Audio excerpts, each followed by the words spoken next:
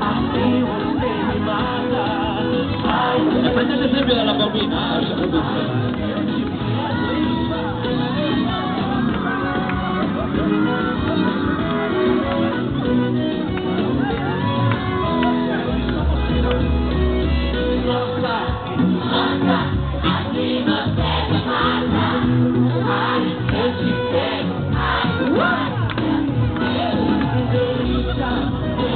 Shiva, Shiva.